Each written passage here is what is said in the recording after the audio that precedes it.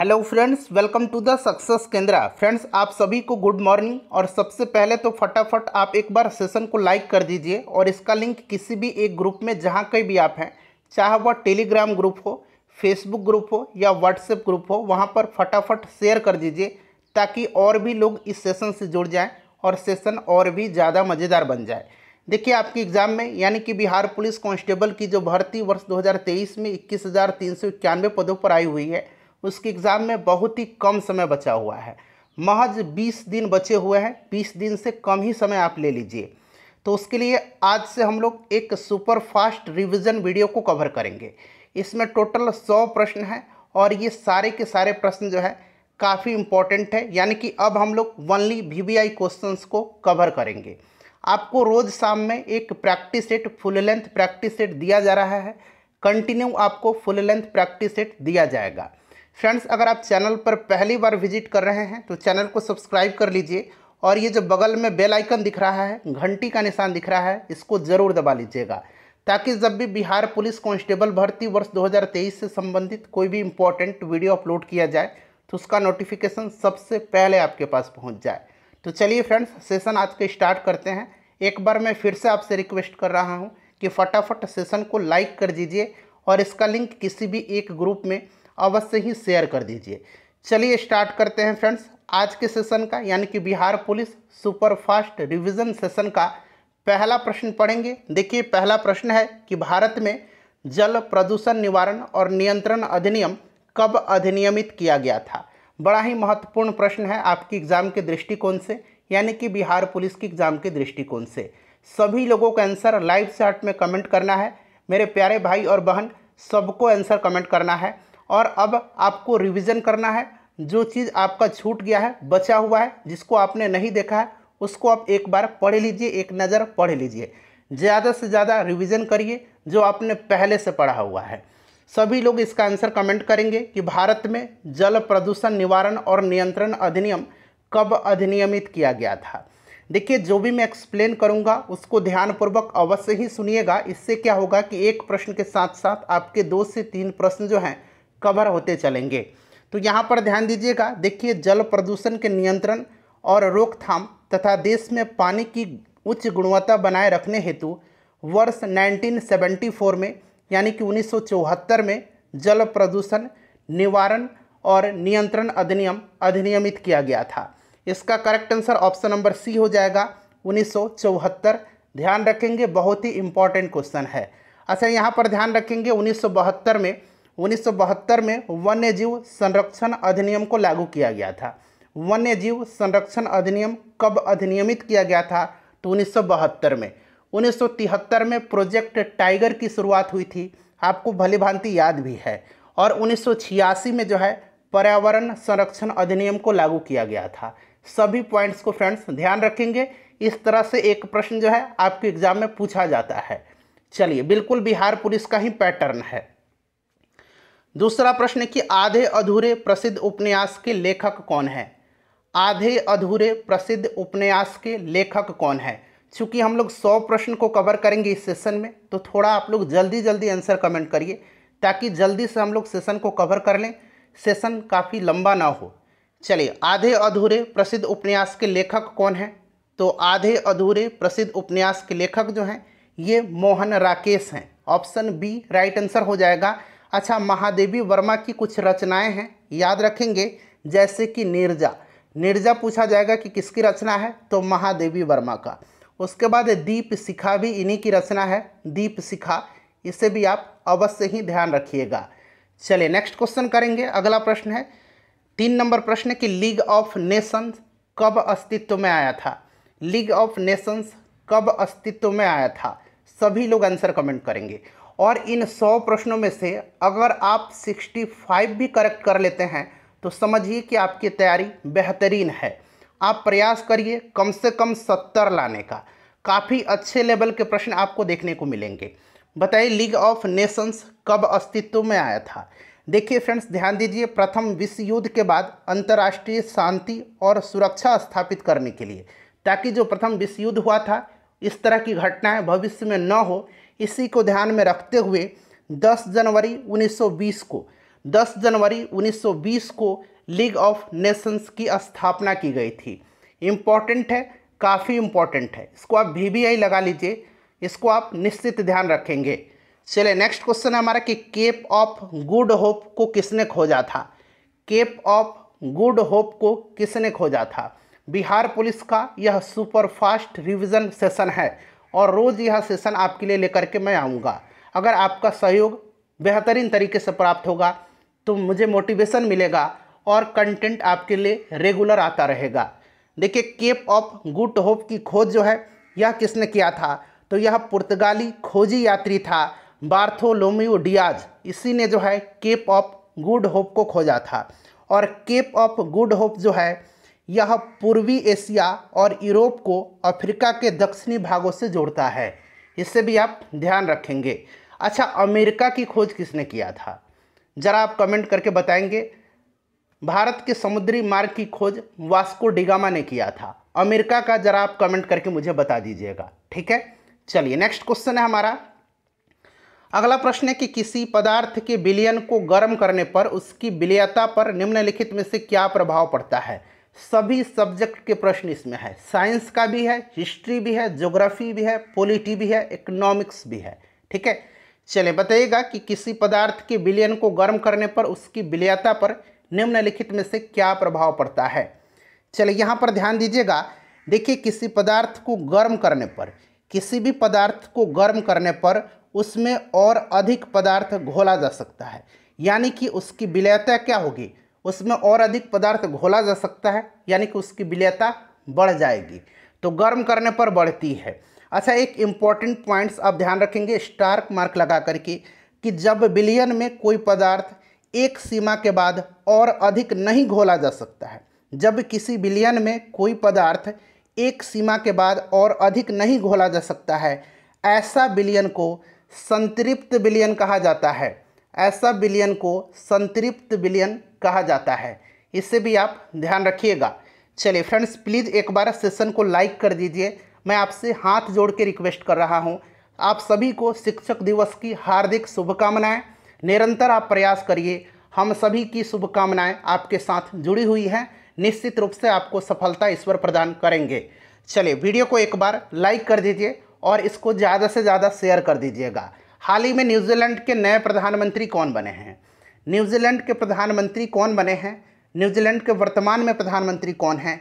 बताइए, सभी लोग आंसर कमेंट करिएगा। देखिए, न्यूजीलैंड के प्रधानमंत्री जो हैं, यह क्रिप्स हिपकिंस हैं। इससे पहले जसेंडा अर्डन थी, लेकिन अब क्रिप्स हिपकिंस हैं। न्यूजीलैंड की राजधानी कहाँ पर है? तो न्यूजीलैंड की राजधानी जो है, ये वेलिंगटन है। इसे भी आप ज़रूर याद रखेंगे। चलिए, और न्यूजीलैंड में कौन सा घास का मैदान है? तो कैंटबरी घास का मैदान जो है यह न्यूजीलैंड में है। साथ साथ इसे भी आप ध्यान रखते चलिएगा। चलिए, क्वेश्चन नंबर सेवन है कि इंग्लैंड ने अमेरिका पर। देखिए, काफ़ी इंपॉर्टेंट क्वेश्चन है। ऑलरेडी बिहार पुलिस में यह पूछा जा चुका है। इंग्लैंड ने अमेरिका पर स्टाम्प एक्ट किस वर्ष में लागू किया था? इंग्लैंड ने अमेरिका पर स्टाम्प एक्ट किस वर्ष लगाया था? देखिए, स्टाम्प एक्ट जो था, यह सत्रह सौ पैंसठ में लागू किया हुआ था। सत्रह सौ पैंसठ का स्टाम्प एक्ट जो था यह ग्रेट ब्रिटेन की संसद की एक अधिनियम था, जिसने अमेरिका में ब्रिटिश उपनिवेशों पर प्रत्यक्ष कर लगाया था।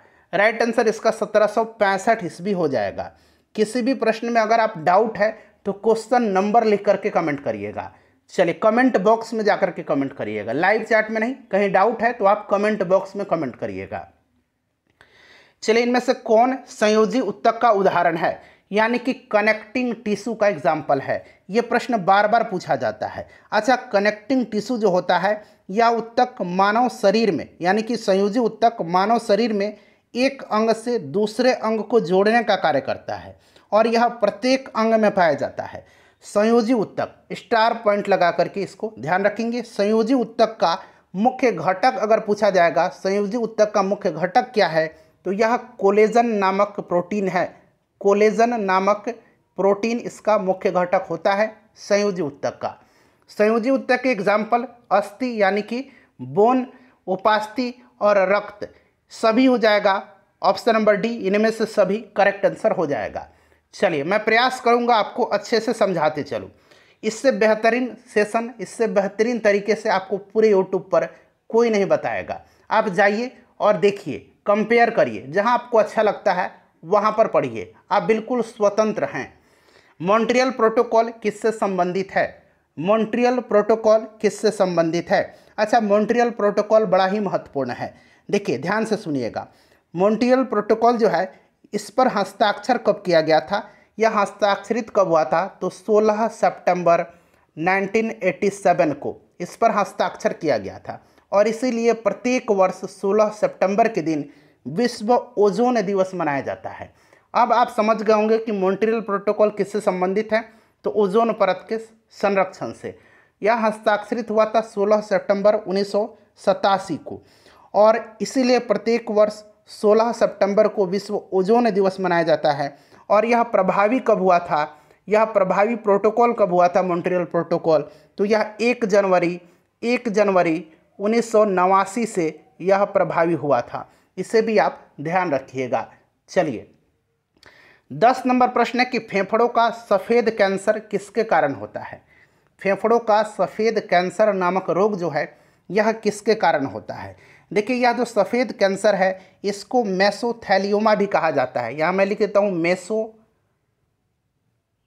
थैलियोमा इसको मेसोथैलियोमा भी कहा जाता है और यह सफ़ेद कैंसर जो होता है यह होता है किसके कारण? तो मुख्यतः एस्बेस्टस फाइबर के श्वसन के साथ फेफड़ों में एकत्रित होने के कारण होता है। तो एस्बेस्टस इसका राइट आंसर हो जाएगा। एक इटाई इटाई रोग है। इटाई इटाई रोग जो होता है, ये कैडमियम के कारण होता है और एक मिनी माता रोग है। एक मिनी माता रोग है। यह मिनी माता रोग, यह पारा, यानी कि कहिए मरकरी या इसका सिंबल है एच जी इसकी अधिकता के कारण होता है। मिनी माता। क्लियर? चलिए। फ्रेंड्स, एक बार सेशन को प्लीज़ प्लीज़ लाइक कर दीजिए। देखिए कॉपर के किस मिश्र धातु में जिंक नहीं होता है? ज़रा ध्यान से पढ़िएगा। कॉपर के किस मिश्र धातु में जिंक नहीं होता है? चलिए एक एक करके यहाँ पर हम देख लेते हैं। पीतल जो होता है, यह किसका मिश्र धातु है? पीतल जो है, ये कॉपर और जिंक का मिश्र धातु है। जर्मन सिल्वर किसका मिश्र धातु है? तो यह कॉपर जिंक और निकिल का मिश्र धातु है। बेल मेटल, यानी कि बेल धातु जो होता है, यह कॉपर और टीन का मिश्र धातु है। और गन मेटल जो है, गन मेटल, यह कॉपर, टीन और जिंक का मिश्र धातु है। प्रश्न में पूछा गया है, किसमें से, किसमें जो है जिंक नहीं होता है? तो यहाँ पर जिंक है, यहाँ पर जिंक है, यहाँ पर जिंक है। तो किसमें जिंक नहीं है? बेल धातु में जिंक नहीं है। ठीक है? और ये सारे कॉपर के मिश्र धातु में, कॉपर यहाँ पर भी है, यहाँ पर भी है, यहाँ पर भी है, यहाँ पर भी है। क्लियर चलिए। संविधान सभा में उद्देश्य प्रस्ताव कब प्रस्तुत किया गया था? बताइए। संविधान सभा में उद्देश्य प्रस्ताव कब प्रस्तुत किया गया था? संविधान सभा में उद्देश्य प्रस्ताव को प्रस्तुत किया था पंडित जवाहरलाल नेहरू जी ने 13 दिसंबर 1946 को। ठीक है? संविधान सभा की पहली बैठक कब हुई थी? 9 दिसंबर 1946 को। और इसी में सच्चिदानंद सिन्हा को अस्थायी अध्यक्ष चुना गया था। उसके बाद संविधान सभा की दूसरी बैठक हुई थी 11 दिसंबर 1946 को और डॉक्टर राजेंद्र प्रसाद जी को इसमें अस्थायी अध्यक्ष चुना गया था। संविधान सभा की अंतिम बैठक कब हुई थी? तो ये भी याद रखेंगे, अंतिम बैठक 24 जनवरी 1950 को हुई थी। 24 जनवरी 1950 को। क्लियर? चलिए, नेक्स्ट क्वेश्चन है हमारा। कि विश्व मौसम विज्ञान संगठन का हेडक्वार्टर मुख्यालय कहाँ पर है? विश्व मौसम विज्ञान संगठन का मुख्यालय कहाँ पर है? देखिए, विश्व मौसम विज्ञान संगठन की स्थापना अगर पूछेगा तो 23 मार्च 1950 को हुई थी। आप सन याद रखिएगा 1950 को। इसका हेडक्वार्टर कहाँ पर है? तो इसका हेडक्वार्टर स्विट्ज़रलैंड के जिनेवा में है।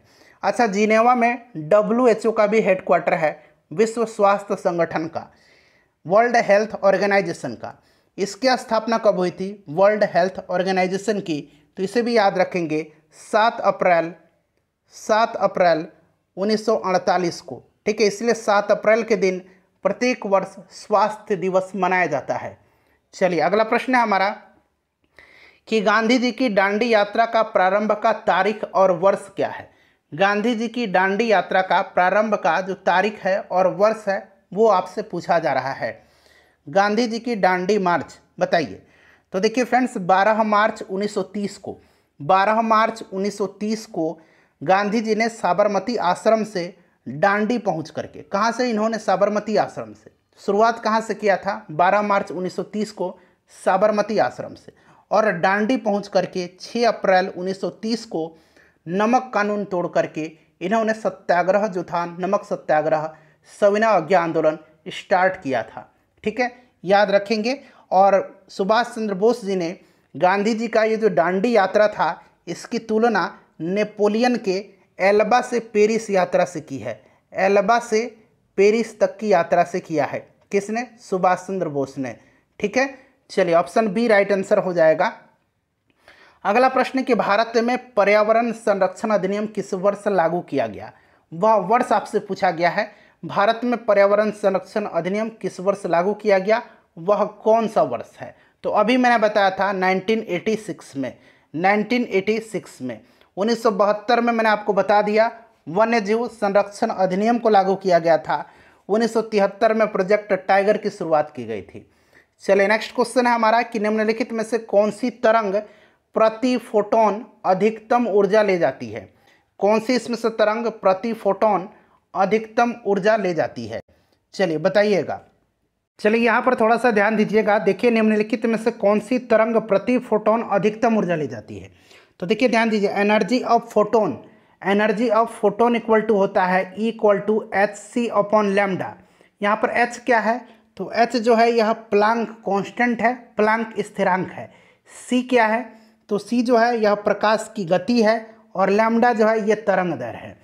यानी कि जिसका तरंग दर यहाँ पर देखिए, जिसका तरंग दर सबसे ज़्यादा होगा, उसकी एनर्जी क्या होगी? सबसे कम होगी। जिसका तरंग दर सबसे कम होगा, उसकी एनर्जी सबसे ज़्यादा होगी। तो यही पूछा गया कि प्रति फोटोन अधिकतम ऊर्जा, यानी कि जिसका तरंग दर सबसे कम होगा, उसकी प्रति फोटोन ऊर्जा अधिकतम होगी। ठीक है? तो इसमें से देखिए, एक्स किरण का जो है तरंग दर सबसे कम होता है। एक्स किरण का तरंग दर सबसे कम होता है इसका, इसीलिए इसकी प्रति फोटोन ऊर्जा अधिकतम होगी। रेडियो तरंग का तरंग दर जो होता है, ये सबसे अधिक होता है, इसीलिए इसकी प्रति फोटोन ऊर्जा न्यूनतम होगी। तो दोनों को ध्यान रखिएगा। चलिए, अगला प्रश्न का नंबर सेवेंटीन देखिए, प्रश्न है कि तत्व के परमाणु, जिसकी परमाणु संख्या समान लेकिन द्रव्यमान संख्या भिन्न भिन्न होती हैं, क्या कहलाता है? चलिए, बताएँगे। सभी लोग इसका आंसर कमेंट करेंगे। सभी लोग इसका आंसर कमेंट करेंगे। तो जिनकी परमाणु संख्या समान है, लेकिन द्रव्यमान संख्या भिन्न भिन्न होती है, उनको क्या कहा जाता है? उनको समस्थानिक कहा जाता है। और ये जो संभारिक होता है, उसमें क्या होता है? उसमें द्रव्यमान संख्या समान होता है और परमाणु संख्या भिन्न भिन्न होती है। ठीक है? चलिए, अगला प्रश्न है कि रजौली वन्य जीव अभ्यारण्य कहाँ पर है? रजौली वन्य जीव अभ्यारण्य जो है, ये कहाँ पर है? इतना तो आपको मालूम चल गया कि ये बिहार राज्य में है। और रजौली वन्य जीव अभ्यारण्य जो है, ये कहाँ पर है? तो फ्रेंड्स, यह नवादा में है। नवादा में ही ककोलत जलप्रपात भी है। पूछा जाता है कि ककोलत ककोलत जलप्रपात कहाँ पर है? तो ये भी नवादा में ही है। अच्छा मुंगेर में कल ही मैंने आपको बताया था, मुंगेर में भीम बाँध वन्यजीव अभ्यारण्य है। भीम बाँध वन्यजीव अभ्यारण्य है। कांवर पक्षी विहार कांवर लेक जो है, ये बेगूसराय में है, ठीक है? चलिए नेक्स्ट क्वेश्चन है हमारा कि महिला क्रिकेट आईसीसी टी ट्वेंटी विश्व कप 2023 किस देश ने जीता है? यानी कि इसका विनर कौन सा देश रहा है? इसका आयोजन कहाँ पर हुआ था? तो सबसे पहले जान लीजिए, इसका आयोजन दक्षिण अफ्रीका में हुआ था, साउथ अफ्रीका में हुआ था, ठीक है? और इसमें विजेता टीम रही है ऑस्ट्रेलिया, यानी कि विजेता ऑस्ट्रेलिया रही है और उप विजेता जो रहा है, ये दक्षिण अफ्रीका उप विजेता टीम रहा है। क्लियर है?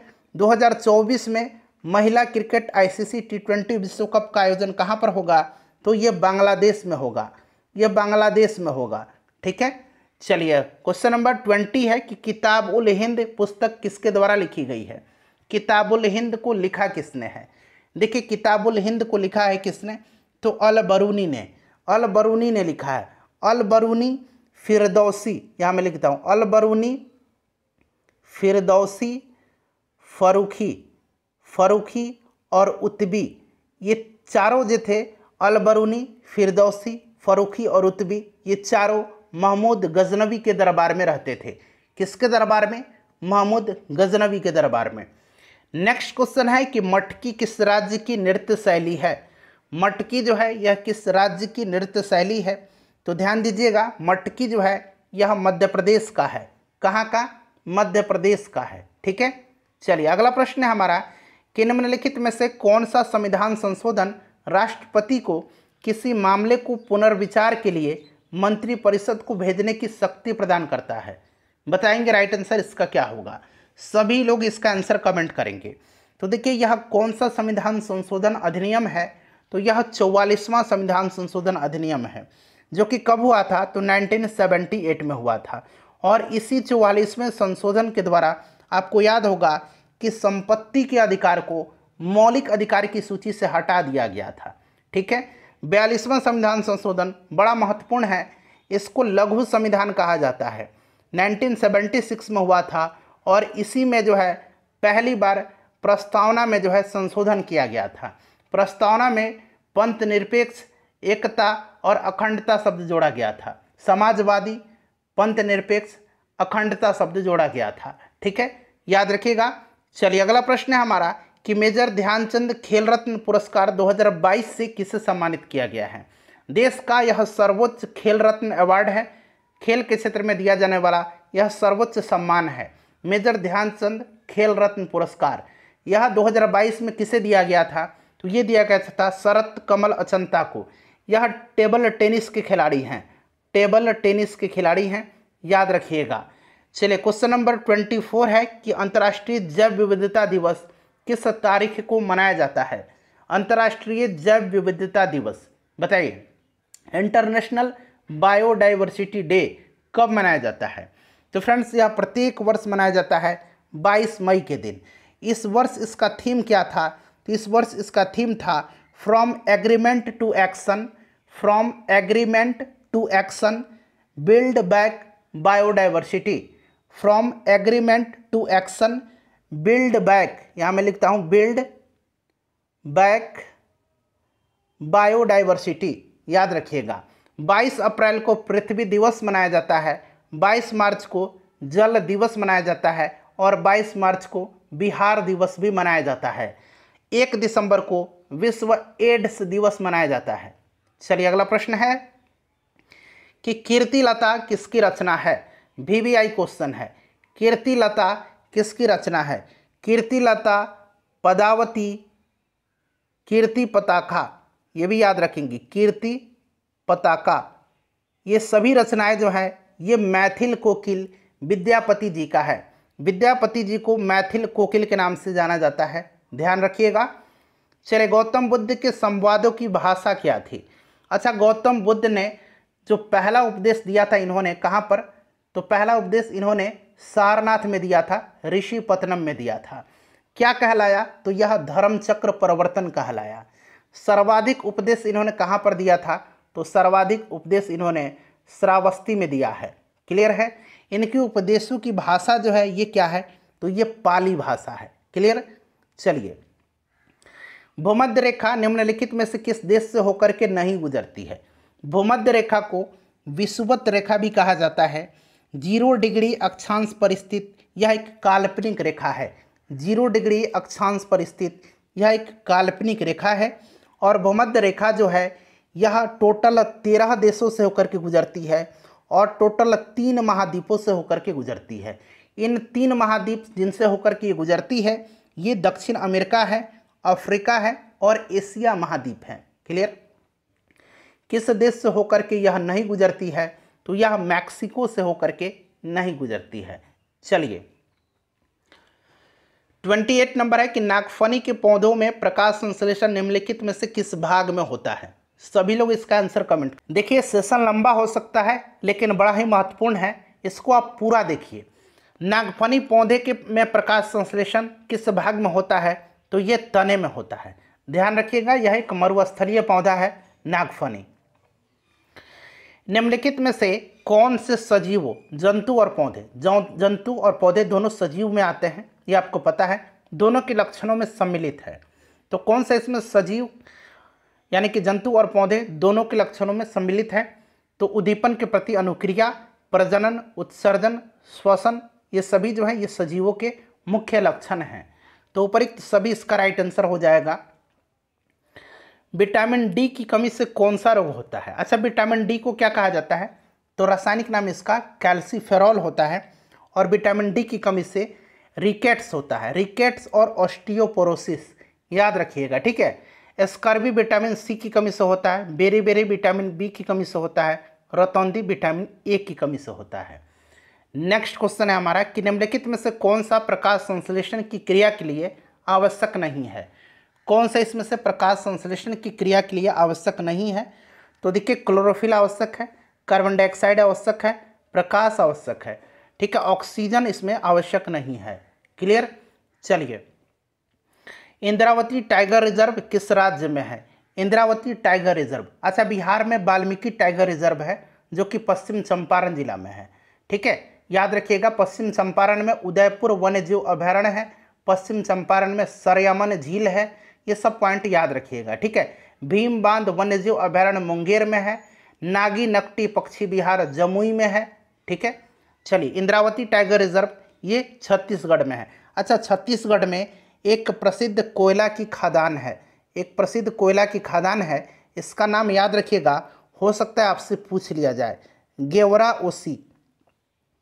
गेवरा ओसी खादान कहाँ पर है? या सिर्फ़ गेवरा ही आपसे पूछा जाए कि गेवरा खादान कहाँ पर है? तो याद रखिएगा, छत्तीसगढ़ में है। चलिए नेक्स्ट क्वेश्चन है कि संयुक्त राष्ट्र संघ की स्थापना किस तिथि को हुई थी? आपसे डेट पूछा जा रहा है। चलिए, आप सन भी लिख करके कमेंट कर दीजिएगा। बताइए, सभी लोग आंसर कमेंट करिएगा। संयुक्त राष्ट्र संघ की स्थापना जो है, किस तारीख और किस सन में हुई थी? तो ये 24 अक्टूबर 1945 को हुई थी। 24 अक्टूबर के दिन। इसका हेडक्वार्टर कहाँ पर है? तो इसका हेडक्वार्टर न्यूयॉर्क में है। न्यूयॉर्क में है, ठीक है? चलिए एंटोनियो गुटेरस इसके महासचिव हैं। कांवर झील। देखिए, प्रश्न आ गया कि कांवर झील बिहार की किस जिला में है? तो देखिए, ये जो कांवर झील जो है, कांवर लेक जो है, यह मैंने बताया बेगूसराय में है और बिहार का यह पहला रामसर स्थल है। ठीक है? चलिए नेक्स्ट क्वेश्चन है हमारा कि बिहार में भारतीय राष्ट्रीय कांग्रेस का पहला अधिवेशन कब हुआ था? बिहार स्पेशल का मैंने तीन वीडियो कवर कराया हुआ है। आप सर्च कर लीजिए Bihar police Bihar special success Kendra आपको वीडियो मिल जाएगा। या फिर आप चैनल पर चले जाइए, या फिर लिंक डिस्क्रिप्शन में है, वहाँ क्लिक करके देख लीजिए। देखिए, भारतीय राष्ट्रीय कांग्रेस का पहला अधिवेशन बिहार में जो हुआ था, ये 1912 में हुआ था। कहाँ पर? तो ये बांकीपुर, पटना में हुआ था। ठीक है, इसकी अध्यक्षता आर एन माधोलकर ने किया था। दूसरा 1922 में हुआ था, कहाँ पर? तो गया में। इसकी अध्यक्षता सी आर दास ने किया था। यानी कि चितरंजन दास ने किया था। नेक्स्ट क्वेश्चन हमारा कि बिहार सरकार के मिशन 5.0 का संबंध किससे है? मिशन 5.0 का संबंध किससे है? तो फ्रेंड्स इसका संबंध जो है, ध्यान रखिएगा किससे है? तो ये वृक्षारोपण से संबंधित है। यह जो मिशन 5.0 है, इसके तहत पाँच करोड़ वृक्ष लगाने का लक्ष्य रखा गया है बिहार सरकार के द्वारा। रक्षा अनुसंधान एवं विकास संगठन, यानी कि डी आर डी ओ की बात की जा रही है। इसका हेडक्वार्टर कहाँ पर स्थित है? अच्छा डी आर डी ओ का हेडक्वार्टर जरा पहले आप इसरो का हेडक्वार्टर बता दीजिए। इसरो का हेडक्वार्टर कहाँ पर है? इसरो के हेडक्वार्टर कहाँ पर है? बताइए। देखिए डी आर डी ओ का स्थापना कब हुआ था? तो 1958 में हुआ था। इसका हेडक्वार्टर कहाँ पर है? तो नई दिल्ली में है। इसरो का हेडक्वार्टर बेंगलुरु में है। ठीक है? चलिए। 1969 में इसरो की स्थापना हुई थी। टोक्यो ओलंपिक में भारत ने कुल कितने पदक जीते थे? बताइए। अगला ओलंपिक जो होगा, ये 2024 में होगा। कहाँ पर? तो फ्रांस की राजधानी पेरिस में होगा। क्लियर है? चलिए, टोक्यो ओलंपिक में भारत ने कितने मेडल जीते थे? टोटल सात पदक जीता था भारत ने। भारत ने टोटल सात पदक, एक स्वर्ण पदक जीता था, दो रजत पदक जीता था, और चार जो है कांस्य पदक जीता था। इनको जोड़ दीजिए। देखिए, सात राइट आंसर हो जाएगा। और एकमात्र स्वर्ण पदक नीरज चोपड़ा ने जैवलिन थ्रो में जीता था, भाला फेंक में जीता था। ठीक है, याद रखिएगा। अर्थशास्त्र के क्षेत्र में साल 2022 के नोबेल पुरस्कार से किसे सम्मानित किया गया था? अर्थशास्त्र के क्षेत्र में पूछा गया है। तो देखिए, तीन लोगों को यह अवार्ड दिया गया था। कौन कौन से हैं ये? तो इनका नाम याद रखेंगे। Ben S Bernanke Ben S Bernanke, ठीक है? एक नाम ये हो गया। दूसरा नाम यहाँ पर देखिए डगलस डायमंड है और तीसरा नाम फिलिप डायबविग। यहाँ मैं लिखता हूँ, फिलिप डायबविग, ठीक है? याद रखिएगा। Ben S Bernanke Douglas Diamond और फिलिप डायबविग, ठीक है? याद रखिएगा। ऑप्शन ए राइट आंसर हो जाएगा। निम्नलिखित में से किस सिख गुरु ने गुरुमुखी लिपि की शुरुआत किया था? गुरुमुखी लिपि की शुरुआत जो है, यह किस सिख गुरु ने किया था? तो ये सिखों के दूसरे गुरु थे, गुरु अंगद देव। गुरु अंगद देव इन्होंने ही किया था, ठीक है? अच्छा एक आदि ग्रंथ की रचना पूछा जाता है। आदि ग्रंथ की रचना किसने किया था? तो ये सिखों के जो पाँचवें गुरु थे, गुरु अर्जुन देव, इन्होंने ही किया था, गुरु अर्जुन देव ने। अच्छा गुरु अर्जुन देव की हत्या किसने करवाया था? तो जहांगीर ने करवा दिया था। और सिखों के जो नौवे गुरु थे, गुरु तेग बहादुर, इनकी हत्या औरंगज़ेब ने करवाया था। सिखों के जो आखिरी और दसवें गुरु थे, गुरु गोविंद सिंह, इनका जन्म कहाँ पर हुआ था? तो बिहार में हुआ था, सोलह में। और इन्होंने खालसा पंथ की स्थापना कब किया था? सोलह में। ठीक है, चलिए। पंद्रह डिग्री सेल्सियस तापमान है, पंद्रह डिग्री सेंटीग्रेड। इसको फ़ारेनहाइट स्केल पर बदलना है। तो मैंने आपको फॉर्मूला बताया था ना कि C upon five equal to F minus thirty two upon nine होता है। अब यहाँ पर सी दिया गया है कितना? पंद्रह डिग्री। तो यहाँ पर पंद्रह पुट कर दीजिए, ठीक है? F minus thirty two upon nine देखिए, पाँच तिहाई पंद्रह हो जाएगा और ये क्रॉस मल्टीप्लिकेशन कीजिएगा तो ये नौ तरीका कितना हो जाएगा? सत्ताईस हो जाएगा। इधर कितना हो जाएगा? एफ़ माइनस थर्टी टू ये माइनस इधर आएगा तो ये प्लस में आ जाएगा, यानी कि सत्ताईस प्लस बत्तीस इक्वल टू एफ़, यानी कि राइट आंसर इसका कितना हो जाएगा? सात दो नौ और तीन दो पाँच, यानी कि उनसठ डिग्री फ़ारेनहाइट हो जाएगा, ठीक है? चलिए उनसठ डिग्री फ़ारेनहाइट हो जाएगा, ध्यान रखिएगा। चलिए अगला प्रश्न है कि 2011 की जनगणना के अनुसार बिहार का सबसे कम लिंगानुपात वाला जिला, बिहार की जनगणना से बिहार पुलिस में प्रश्न बनता है। तो मैंने ये सारा जो है प्रश्न आपको ऑलरेडी बिहार स्पेशल में करा दिया है। तो एक बार आप जाइए और उनको देख लीजिए। तो देखिए, सबसे ज़्यादा लिंगानुपात जो है, ये गोपालगंज का है और सबसे कम लिंगानुपात मुंगेर का है। मुंगेर के कितना है? तो आठ सौ छिहत्तर है। गोपालगंज का कितना है? तो एक हज़ार इक्कीस है। अच्छा ये तो बात हो गई जिलों की। अगर आपसे पूछेगा कि बिहार का लिंगानुपात कितना है? बिहार का लिंग अनुपात 918 है। कितना है? 918 है। ध्यान रखिएगा। क्लियर है? याद रहेगा। और सबसे ज़्यादा अगर जन घनत्व वाला जिला पूछेगा बिहार का तो सबसे ज़्यादा जन घनत्व शिवहर का है, सबसे कम पूछेगा तो कैमूर का है। सबसे कम किसका है? कैमूर का है। क्लियर है? सबसे ज़्यादा साक्षरता दर कहाँ पर है? तो रोहतास का है। आपात उपबंध का उल्लेख भारतीय संविधान के किस भाग में है? आपात उपबंध जो है, इसका उल्लेख किस भाग में है? देखिए, यहाँ पर भाग पंद्रह में क्या है? तो भाग पंद्रह में निर्वाचन है, अनुच्छेद 324 से लेकर के अनुच्छेद तीन सौ उनतीस तक में। ये आपको याद भी होगा। आपात उपबंध पूछा गया है तो आपात उपबंध जो है, भाग 18 में है, अनुच्छेद तीन सौ बावन से लेकर के 360 तक में। अनुच्छेद भाग 17 में क्या है? तो भाग सत्रह में राजभाषा है, सबको ध्यान रखिएगा, ठीक है? चलिए, तीन सौ बावन में क्या है? तो राष्ट्रीय आपातकाल है तीन सौ छप्पन में क्या है? तो राज्यों में राष्ट्रपति शासन है और तीन सौ साठ में वित्तीय आपातकाल का वर्णन किया गया है। संयुक्त राष्ट्र संघ के आंकड़ों के अनुसार कौन सा देश अब विश्व का सबसे अधिक जनसंख्या वाला देश है? बताइए, यह देश कौन सा है? तो यह देश अपना प्यारा भारत है। भारत जो है, सबसे ज़्यादा जनसंख्या वाला देश हो गया है। एक विद्युतीय फ्यूज किस पर आधारित है? एक विद्युतीय फ्यूज जो है, यह किस पर आधारित है? किस पर यह कार्य करता है, किस सिद्धांत पर आधारित है, बताइए। तो विद्युतीय फ्यूज जो होता है, यह विद्युत धारा के उष्मीय प्रभाव, या धारा के उष्मीय प्रभाव कहिए, इस पर यह आधारित है। विद्युत फ्यूज जो होता है, यह हमेशा लाइव वायर में, हमेशा यह लाइव वायर में जोड़ा जाता है। ध्यान रखिएगा, और यह किसका मिश्र धातु है, किससे मिलकर के बना होता है तो यह टीन और लेड का मिश्रण है, ठीक है? चलिए, इसे भी ध्यान रखिएगा। भारत में सर्वोच्च न्यायालय में नियुक्त होने वाली पहली महिला न्यायाधीश कौन थी? सर्वोच्च न्यायालय में नियुक्त होने वाली पहली महिला न्यायाधीश। सर्वोच्च न्यायालय पूछा गया है तो राइट आंसर इसका हो जाएगा फातिमा बीबी। अच्छा यहाँ पर देखिए, लीला सेठ जो है, लीला सेठ, यह उच्च न्यायालय की पहली महिला मुख्य न्यायाधीश थी। अच्छा अभी वर्तमान में पटना उच्च न्यायालय के, पटना हाईकोर्ट के मुख्य न्यायाधीश कौन है? ये भी प्रश्न बन सकता है। तो जस्टिस के विनोद चंद्रन हैं। विनोद चंद्रन याद रखिएगा, ठीक है? चलिए नेक्स्ट क्वेश्चन है हमारा कि कौन सी ग्रंथि आपात ग्रंथि भी कहलाती है? कौन सी ग्रंथि आपात ग्रंथि भी कहलाती है? तो ये ग्रंथि कौन सी है? तो ध्यान रखेंगे, यह ग्रंथि जो है, यह अधिविक्र ग्रंथि है एड्रेनल ग्लैंड है। इससे निकलने वाला जो हार्मोन है, उसको उड़ो और लड़ो हार्मोन कहा जाता है। ये भी आप ध्यान रखिएगा। नेक्स्ट क्वेश्चन है कि किस तिथि को डॉक्टर राजेंद्र प्रसाद को संविधान सभा का अस्थाई अध्यक्ष चुना गया था। अभी मैंने आपको डिस्कशन के दौरान बताया था। इसलिए मैं बोलता हूँ कि जो भी मैं डिस्कस करूँगा, उसको ध्यान से सुनिएगा।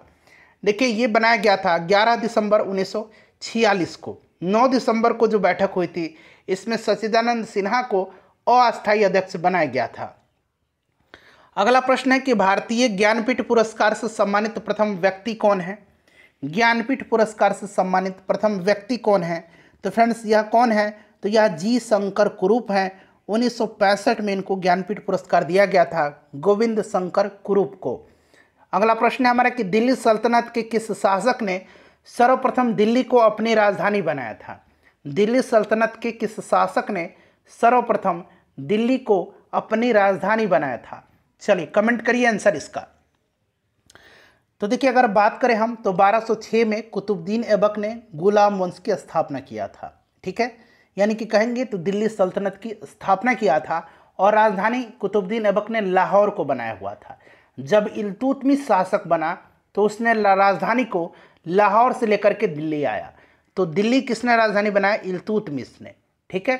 चलिए नेक्स्ट क्वेश्चन है हमारा, कि तंजौर का राज राजेश्वर शिव मंदिर का निर्माण किसने करवाया? तंजौर का राज राजेश्वर शिव मंदिर का निर्माण किसने करवाया था? बताइए राइट आंसर क्या हो जाएगा? राइट आंसर क्या हो जाएगा? तो करेक्ट आंसर इसका राजराज प्रथम हो जाएगा। राजराज प्रथम जो था, यह चोल वंश का शासक था। चोल वंश की स्थापना किसने किया था? तो विजयालय ने किया था, ठीक है? चोल वंश की राजधानी तंजौर हुआ करती थी और तंजौर के राजराजेश्वर शिव मंदिर का निर्माण राजराज प्रथम ने करवाया था। और ये जो राजराजेश्वर शिव मंदिर है, इसको बृहदेश्वर मंदिर के नाम से भी जाना जाता है। इसको बृहदेश्वर मंदिर के नाम से भी, बृहदेश्वर मंदिर के नाम से भी जाना जाता है, ठीक है? चलिए। 1861 में भारतीय परिषद अधिनियम के समय वायसराय कौन था? 1861 का जो भारत परिषद अधिनियम था, उस समय वायसराय कौन था? तो ये वायसराय लॉर्ड कैनिंग था। और अठारह की जो स्वतंत्रता हुई थी, स्वतंत्रता संग्राम, इसी के समय वायसराय यही था, यानी कि यह अंतिम गवर्नर जनरल और यह पहला वायसराय था। ठीक है? चलिए, अगला प्रश्न है हमारा कि हड़प्पा स्थल किस नदी तट पर स्थित है? हड़प्पा जो है यह किस नदी के तट पर स्थित है? मोहनजोदाड़ो मोहनजोदाड़ो जो है, यह सिंधु नदी के तट पर है और हड़प्पा रावी नदी के तट पर है। ठीक है? लोथल भोगुआ नदी के तट पर है। सब ध्यान रखना है आपको। दिल्ली के किस सुल्तान ने स्वयं को नियामत खुदाई कहा था? स्वयं को नियामत खुदाई दिल्ली के किस सुल्तान ने कहा था? तो यह सुल्तान कौन था? तो फ्रेंड्स, यह था कौन? तो यह बलवन था। बलवन जो था, यह कहा था कि सुल्तान को यह मानता था ऐसा कि सुल्तान को पृथ्वी पर यह अल्लाह का प्रतिनिधि, यानी कि नियामत खुदाई मानता था। और बलवन के अनुसार सुल्तान का स्थान पैगंबर के बाद आता था। तो ये आपका बलवन हो जाएगा। रक्त एवं लौह की नीति इसने अपनाई थी। ठीक है, याद रखेंगे, सिजदा और पैबोस प्रथा की शुरुआत किया था। नौरोज उत्सव मनाना इसी ने शुरू करवाया था। चलिए, गुलाम वंश का शासक था। बंगाल विभाजन को किसके कार्यकाल में रद्द किया गया था? तो बंगाल विभाजन हुआ था 1905 में, लॉर्ड कर्जन के समय में। और ये रद्द किया गया था लॉर्ड हॉर्डिंग द्वितीय के समय में, जब दिल्ली दरबार का आयोजन 1911 में हुआ था। ठीक है, उस समय बंगाल विभाजन को रद्द किया गया था। अगला प्रश्न है हमारे कि निम्नलिखित में से किसने अतिरिक्त मूल्य का सिद्धांत थ्योरी ऑफ़ सरप्लस वैल्यू प्रतिपादित किया था? किसने अतिरिक्त मूल्य का सिद्धांत प्रतिपादित किया था? तो फ्रेंड्स यह किया था कार्ल मार्क्स ने। कार्ल मार्क्स ने अपनी पुस्तक दास कैपिटल में थ्योरी ऑफ़ सरप्लस वैल्यू को प्रतिपादित किया था। कार्ल मार्क्स की एक और रचना है, याद रखेंगे कम्युनिस्ट मैनिफेस्टो ठीक है? कम्युनिस्ट मैनिफेस्टो और देखिए कार्ल मार्क्स जो थे यह वैज्ञानिक समाजवाद के जनक माने जाते हैं। याद रखेंगे इसको भी, ठीक है? चलिए कार्ल मार्क्स हो जाएगा राइट आंसर अगला प्रश्न है कि आलमगीर नामा नामक ग्रंथ का संकलन निम्नलिखित में से किसके द्वारा किया गया?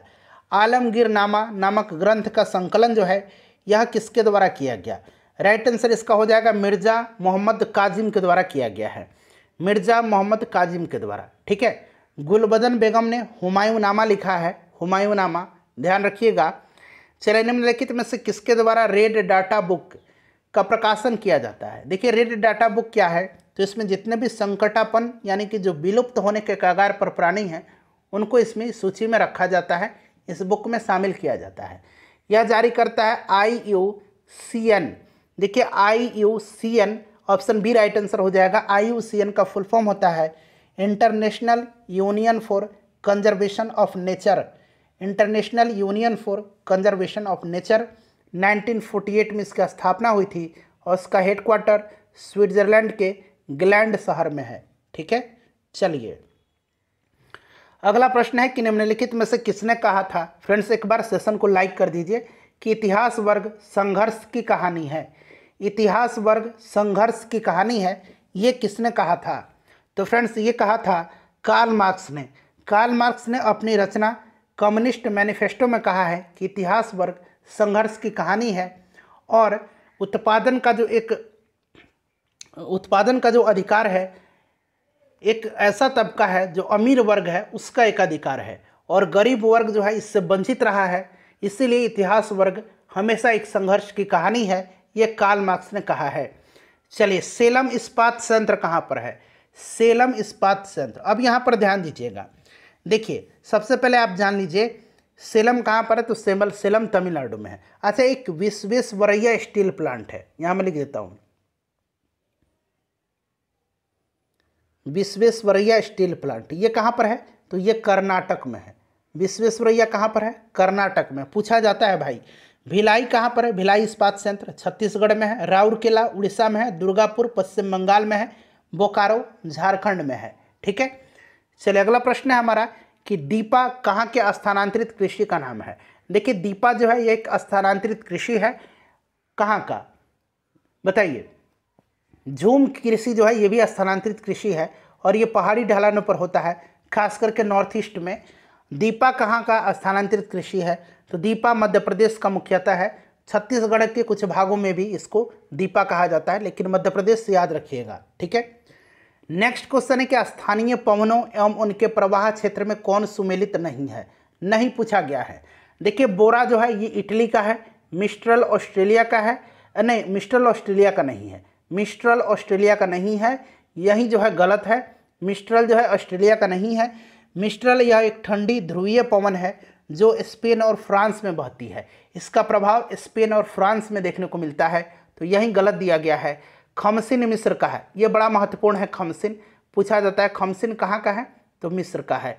हरमटन अफ्रीका के गिनी अफ्रीका के पश्चिमी तट पर चलता है। इसे डॉक्टर हवा के भी नाम से जाना जाता है। गिनी तट पर इसको डॉक्टर हवा के नाम से भी जाना जाता है। जैन धर्म के तेईसवें तीर्थंकर कौन थे? जैन धर्म के संस्थापक ऋषभदेव थे। पहले तीर्थंकर ऋषभदेव थे। ठीक है, तेईसवा पूछा गया है। तेईसवें पार्श्वनाथ थे। आखिरी और चौबीसवें वर्धमान महावीर थे। इनको जैन धर्म का वास्तविक संस्थापक माना जाता है। ठीक है?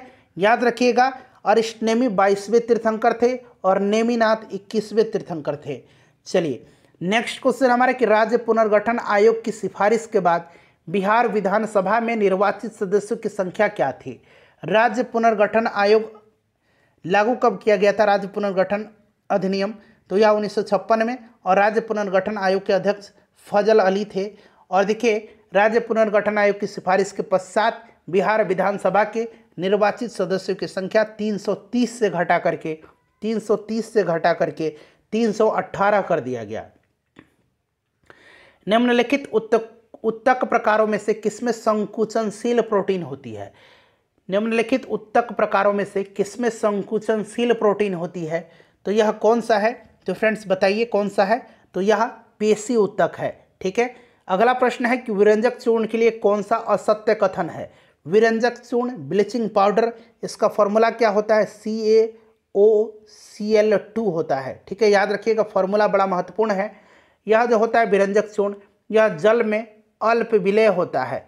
जल में यह कम विलय होता है, ठीक है? अल्प विलय होता है।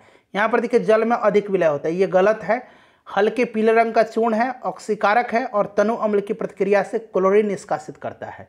तो ये बी सी और डी करेक्ट है। ये जो है, यह असत्य दिया गया। यह जल में अधिक नहीं है, जल में यह अल्प विलय है। जनवरी 2023 में बिहार के दूसरे तारामंडल का उद्घाटन राज्य के मुख्यमंत्री ने कहाँ पर किया है? तो दूसरा तारामंडल है और इसका उद्घाटन किया गया है कहाँ पर? तो दरभंगा में। ठीक है? चलिए नेक्स्ट क्वेश्चन है कि हरगोविंद खुराना को किस आविष्कार के लिए सम्मानित किया गया था? हरगोविंद खुराना को किस क्षेत्र में नोबेल पुरस्कार दिया गया था? पहले आप जरा कमेंट करके बताइए। हरगोविंद खुराना को चिकित्सा के क्षेत्र में 1968 में उन्नीस सौ अड़सठ में नोबेल पुरस्कार दिया गया था जीन संश्लेषण के लिए, ठीक है?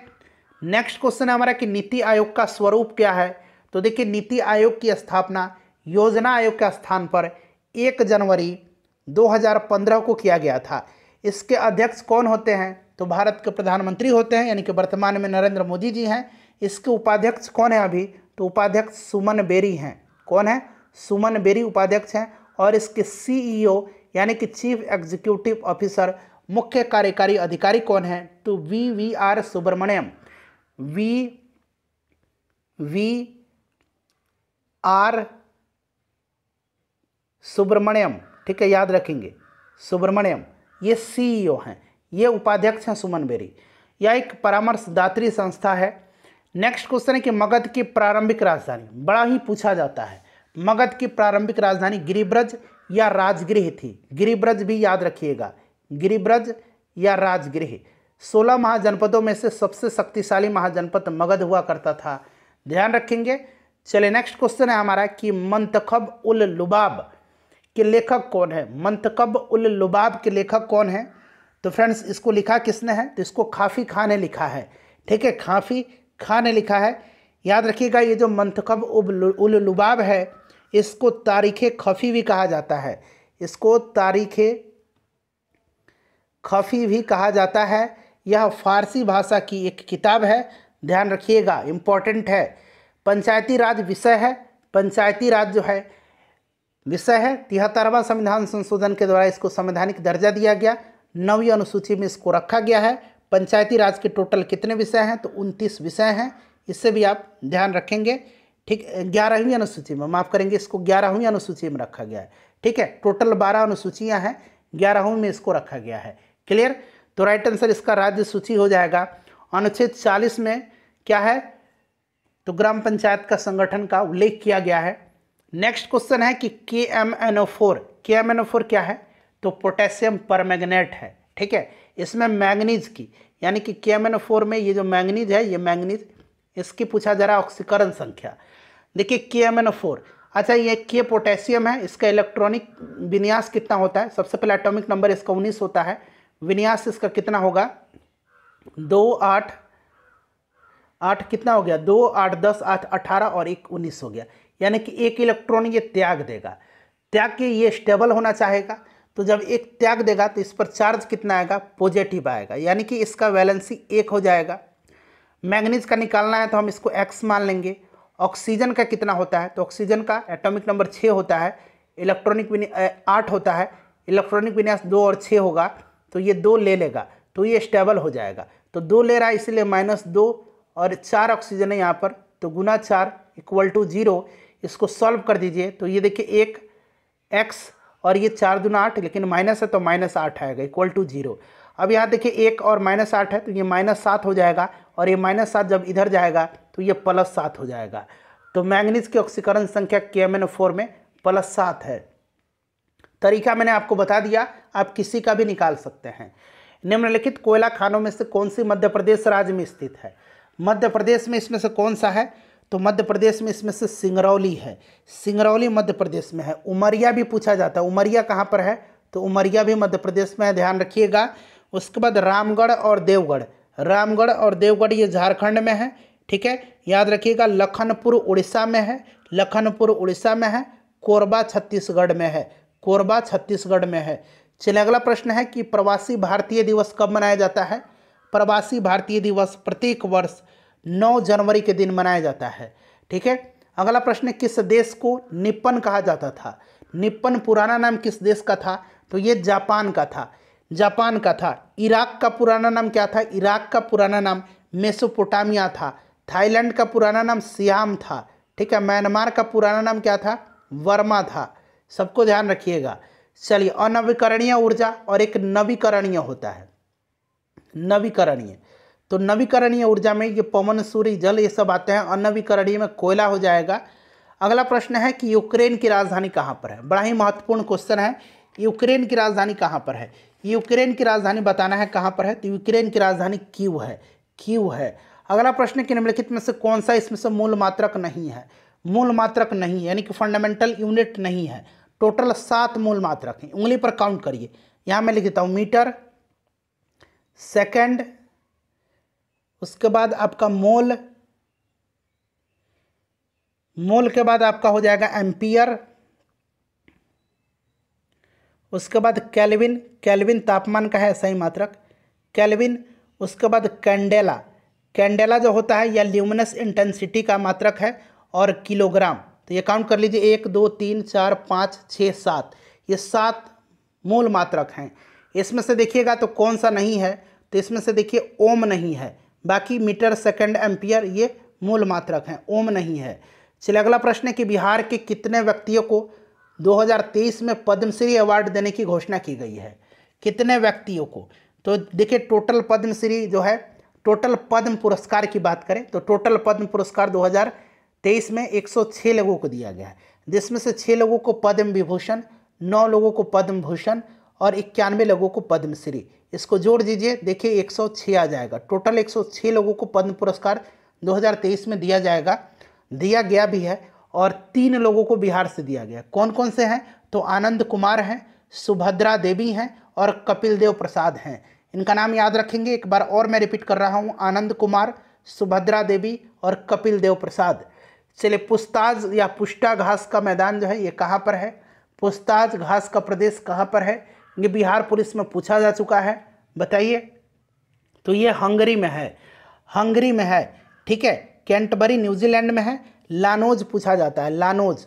लानोज जो है, ये कोलंबिया और वेनेजुएला दोनों देशों में आता है। कंपास, ब्राज़ील में है। कंपास, ब्राज़ील में है। और पंपास, याद रखेंगे, अर्जेंटीना में है। चलिए नेक्स्ट क्वेश्चन है हमारा कि भारत का पहला एक्वा पार्क किस राज्य में स्थापित होगा? पहला एक्वा पार्क है, इसलिए महत्वपूर्ण है। तो ये अरुणाचल प्रदेश के सुबनसिरी में, अरुणाचल प्रदेश के सुबनसिरी में। नेक्स्ट क्वेश्चन है, रासायनिक परिवर्तन के लिए असत्य कथन छाटिए। रासायनिक परिवर्तन जो होता है, यह एक अनुत्कर्मणीय परिवर्तन होता है। अनुत्कर्मणीय यानी कि जब एक फॉर्मेट से एक स्टेट से दूसरे स्टेट में जब पदार्थ जाता है तो वो फिर से पहले स्टेट में नहीं आ सकता है। इसी को अनुत्कर्मणीय कहेंगे। हिंदी में अनुत्कर्मणीय कहा जाता है इसको, ठीक है? अनुत्कर्मणीय। तो यहाँ पर उत्कर्मणीय दिया गया, यानी कि फिर से वापस उसी स्टेट में आ जाएगा। ये गलत है। तो यही वाला जो है असत्य है। बाकी जो है ये सारे के सारे सही दिए गए। एक नया प्रोडक्ट बनता है। आंतरिक संगठन भी उसका परिवर्तित हो जाता है और साथ ही साथ ऊर्जा में भी परिवर्तन होता है। लेकिन यह एक उत्कर्मणीय नहीं, यह एक अनुत्कर्मणीय प्रतिक्रिया है। ठीक है? नेक्स्ट क्वेश्चन है कि निम्नलिखित में से कौन सा भाग मनुष्य के नर प्रजनन तंत्र में होता है? नर प्रजनन तंत्र पूछा गया है, मादा नहीं पूछा गया है, नर पूछा गया है। तो देखिए, गर्भाशय, अंडवाहिका और अंडाशय, ये मादा प्रजनन तंत्र के हिस्सा है, ठीक है?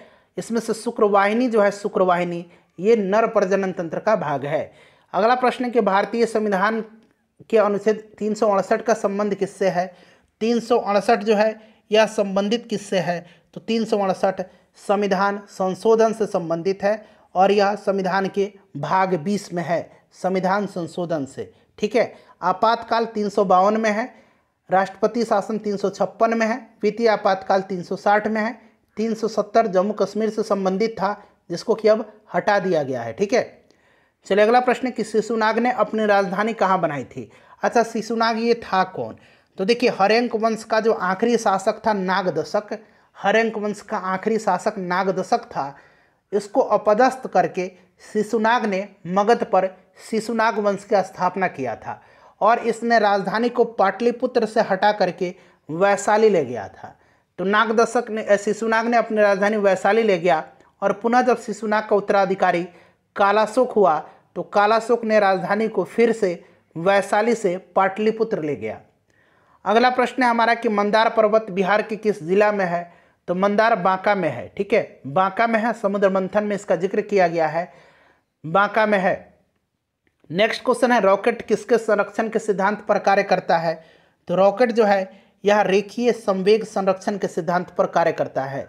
अगला प्रश्न हमारा कि निम्नलिखित में से कौन सी नदी अफ्रीका महाद्वीप में स्थित नहीं है? नील अफ्रीका में है, जाम्बेजी अफ्रीका में है, लिम्पोपो भी अफ्रीका में है। ये पोटोमैक अफ्रीका में नहीं है, पोटोमैक जो है, ये उत्तरी अमेरिका में है। अमेरिका का जो वाशिंगटन शहर है, वाशिंगटन, यह पोटोमैक नदी के किनारे ही बसा हुआ है। न्यूयॉर्क जो है ये हडसन नदी के किनारे बसा हुआ है। न्यूयॉर्क हडसन और वाशिंगटन पोटोमैक नदी के किनारे। अगला प्रश्न कि मानव त्वचा का अध्ययन करने वाली विज्ञान की शाखा क्या कहलाती है? मानव त्वचा की अध्ययन करने वाली विज्ञान की शाखा क्या कहलाती है? फ्रेंड्स, प्लीज़ एक बार सेशन को फिर से मैं बोल रहा हूँ, रिक्वेस्ट कर रहा हूँ प्लीज़ लाइक कर दीजिए। तो ये डर्मेटोलॉजी कहलाती है। क्या कहलाती है? डर्मेटोलॉजी कहलाती है। चलिए, अगला प्रश्न है हमारा कि लोकलेखा समिति अपने रिपोर्ट किसको प्रस्तुत करती है? लोकलेखा समिति में टोटल बाईस सदस्य होते हैं, पंद्रह जो है, ये राज्यसभा से और सात लोकसभा से, ठीक है? लोकसभा के अध्यक्ष को यह अपनी रिपोर्ट प्रकाशित करती है। चलिए नेक्स्ट क्वेश्चन है हमारा कि अनुवांशिकता का जनक कौन है? अनुवांशिकता का जनक माना जाता है ग्रेगर जॉन मेंडल को, ठीक है? लैंड स्टीनर ने ब्लड ग्रुप का खोज किया था, रॉबर्ट हुक ने कोशिका का किया था और लिनियस को लिनियस को जो है ध्यान रखेंगे, इनको आधुनिक वर्गीकरण का पिता कहा जाता है। चलिए, कैरोलस लिनियस को। देखिए, भारतीय संविधान में चुनाव प्रणाली का प्रावधान किन अनुच्छेद में किया गया है? चुनाव प्रणाली जो है, यह किस भाग में है? तो भाग बताइए सबसे पहले, भाग पंद्रह में है। भाग पंद्रह में अनुच्छेद 324 से तीन सौ उनतीस तक में। और 326 अनुच्छेद जो है, इसमें व्यस्क मताधिकार की बात कही गई है। वोट देने का अधिकार इसी आर्टिकल में है। अगला प्रश्न है हमारा कि किस देश के प्रसिद्ध फुटबॉलर पेले का हाल ही में निधन हो गया है? पेले कहाँ के महान फुटबॉलर थे? प्रसिद्ध फुटबॉलर थे? तो पेले ब्राज़ील के महान फुटबॉलर थे। नेक्स्ट क्वेश्चन है हमारा कि भारत में पहली बार डाक टिकट का प्रचलन कब प्रारंभ हुआ? भारत में पहली बार डाक टिकट का प्रचलन कब प्रारंभ हुआ? चलिए, सभी लोग आंसर कमेंट करेंगे। तो देखिए, ध्यान दीजिएगा फ्रेंड्स यह हुआ था अठारह सौ चौवन में। लॉर्ड डलहौजी के समय अठारह सौ चौवन में ही नया पोस्ट ऑफ़िस एक्ट पारित हुआ था और उसी समय पहली बार डाक टिकट का प्रचलन हुआ था। अठारह सौ तिरपन में लॉर्ड डलहौजी के समय ही पहली बार रेलगाड़ी चलाई गई थी। बम्बई से ठाणे के बीच में उड डिस्पैच इसी के समय लाया गया था। साथ ही साथ व्यापगत का सिद्धांत डॉक्ट्रिन ऑफ़ लैब्स डलहौजी ने ही लागू किया था। अगला प्रश्न कि विश्व का सबसे बड़ा दुग्ध यानी कि दूध उत्पादक देश कौन सा है? मिल्क प्रोड्यूसिंग कंट्री कौन सा है? तो यह अपना प्यारा भारत हो जाएगा। नेक्स्ट हमारा कि निम्नलिखित में से कौन सा एक रूपांतरित तना है? रूपांतरित तना बार बार पूछा जाता है इस तरह का प्रश्न बिहार पुलिस में। बताइए जल्दी से कमेंट करके रूपांतरित तना इसमें से कौन सा है? तो रूपांतरित तना का उदाहरण इसमें से आलू है। बाकी सारे जड़ हैं। अगला प्रश्न है कि अंतिम मौर्य शासक कौन था? मौर्य वंश की स्थापना चंद्रगुप्त मौर्य ने किया था। किसकी सहायता से? तो चाणक्य की सहायता से, किसको हरा करके? तो नंद वंश के आखिरी शासक धनानंद को पराजित करके। ठीक है? और आखिरी शासक इसका बृहद्रथ था मौर्य वंश का। इसकी हत्या पुष्यमित्र शुंग ने कर दी और शुंग वंश की स्थापना मगध पर किया था। पुष्यमित्र शुंग ने। क्लियर है? चलिए नेक्स्ट क्वेश्चन है हमारा और प्रकाश वर्ष की इकाई क्या है? प्रकाश वर्ष की इकाई क्या है? प्रकाश वर्ष किसकी इकाई है? दूरी की इकाई है। ध्यान रखिएगा, अगला प्रश्न है कि मंत्रिपरिषद की नियुक्ति कौन करता है? इसका आंसर आप कमेंट करके मुझे बताइए और बताइए कि इन सौ प्रश्नों में से कितने प्रश्नों का आंसर आपने सही सही दिया है। अपना स्कोर आप कमेंट करके बताइए। सेशन को प्लीज़ लाइक कर दीजिए और इसको शेयर कर दीजिए एक